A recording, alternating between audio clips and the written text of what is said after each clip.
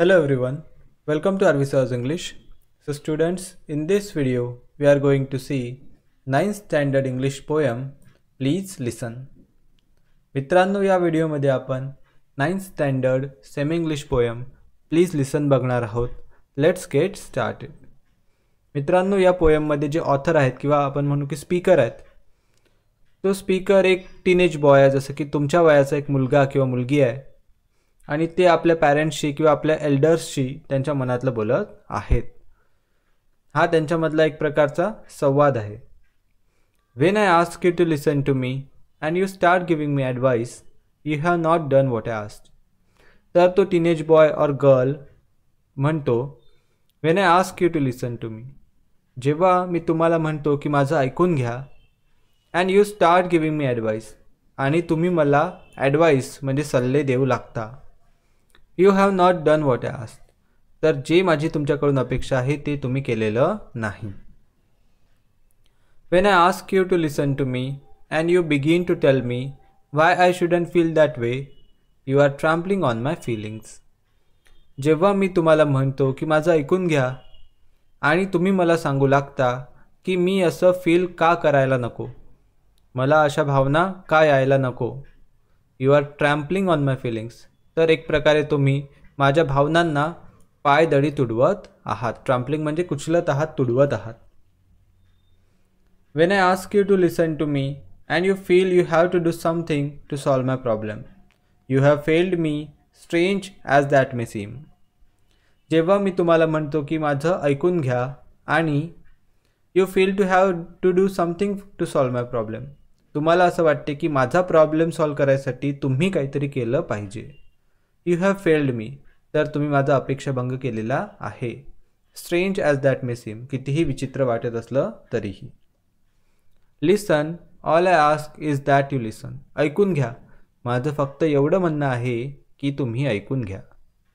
Don't talk or do just hear me काहीच बोलू नका किंवा माझ्यासाठी काही करूसुद्धा नका.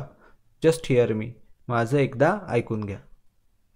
Advice is cheap twenty cents will get you both dear Abby and Billy Graham in the same newspaper speaker म्हणतो की ॲडवाईस चीप आहे. चीप म्हणजे खूप स्वस्त आहे. सल्ला हा खूप स्वस्त आहे. वीस सेंटमध्ये कुठल्याही न्यूजपेपरमध्ये मिळून जाईल. And I can do for myself I am not helpless may be discouraged and faltering but not helpless आणि ऑथर म्हणतो किंवा स्पीकर म्हणतो की मी माझी मदत स्वतः करू शकतो. आय एम नॉट हेल्पलेस मी हेल्पलेस नाही. हा मे बी डिस्करेज्ड अँड फॅल्टरिंग कदाचित सध्या निराश आहे. कदाचित सध्या मी फॅल्टरिंग म्हणजे अडखळतो आहे जीवनामध्ये. पण नक्कीच मी हेल्पलेस नाही. मी माझी मदत स्वतः करू शकतो. When you do something for me that I can and need to do for myself you contribute to my fear and inadequacy जेव्हा तुम्ही माझ्यासाठी एखादी गोष्ट करता जी मी माझ्यासाठी केली पाहिजे तेव्हा तुम्ही माझ्या फिअर म्हणजे माझी भीती आणि इनॲडिक्वसी माझे माझा जो अपुरेपणा आहे त्यामध्ये ॲक्च्युली कॉन्ट्रीब्यूट करत आहात म्हणजे भर घालत आहात.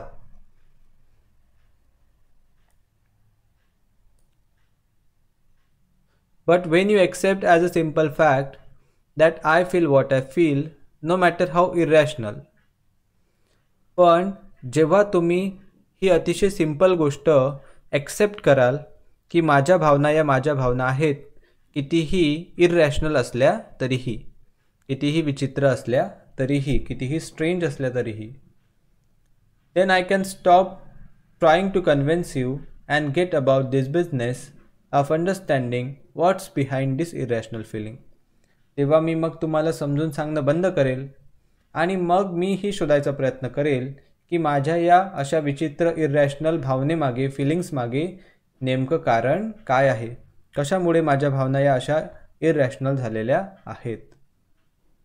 And when that's clear the answer are obvious and I don't need advice आणि जेव्हा ते क्लिअर होऊन जाईल मला ते सापडून जाईल तेव्हा ॲन्सर ऑब्वियस असेल ॲन्सरसुद्धा मला सापडलेलं असेल and I don't need advice आणि तेव्हा मला कुणाच्याही सल्ल्याची गरज पडणार नाही. Irrational feelings make sense when we understand what's behind them या अशा विचित्र भावना यांना अर्थ लागतो जेव्हा त्याच्या मागचं कारण आपल्याला कळते. माझ्या भावना कितीही विचित्र असल्या तरी त्याच्या मागचं कारण जेव्हा कळेल तेव्हा त्यांनासुद्धा अर्थ येईल. Perhaps that is why prayer works sometimes for some people because God is mute and he doesn't give advice or try to fix things perhaps म्हणजे कदाचित भाव ज्या प्रार्थना असतात त्या काही लोकांच्या फळाला येतात. कधीकधी काही लोकांसाठी प्रार्थना कामी येतात. कारण देव हा शांत आहे. ही डझन गिव्ह ॲडवाईस तो सल्ले देत नाही or try to fix things किंवा तुमच्यासाठी काही करायचा देव प्रयत्नसुद्धा करत नाही. God just listen and let you work it out for yourself देव शांतपणे तुमचं बोलणं ऐकतो आणि तुम्हाला तुमचा प्रॉब्लेम स्वतः सॉल्व करू देतो.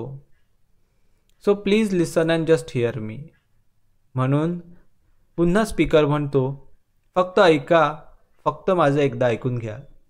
And if you want to talk wait a minute for your turn आणि जर तुम्हाला बोलायचं असेल तर तुमचा टर्न तुमची बारी यायची वाट बघा. And I will listen to you आणि मग मी तुमचं ऐकेल. सो अननोन ऑथर म्हणजे कोणी पोयम लिहिलेली आहे ही आपल्याला माहीत नाही. पण अतिशय छान अतिशय डीप मिनिंग असलेली ही पोयम आहे. आय होप तुम्हाला खूप चांगल्या प्रकारे समजली असणार. समजली असल्यास नक्की व्हिडिओला लाईक करा मित्रांबरोबर शेअर करा. नवीन असाल तर सबस्क्राईब करायला विसरू नका. I will seen another video till then take care good bye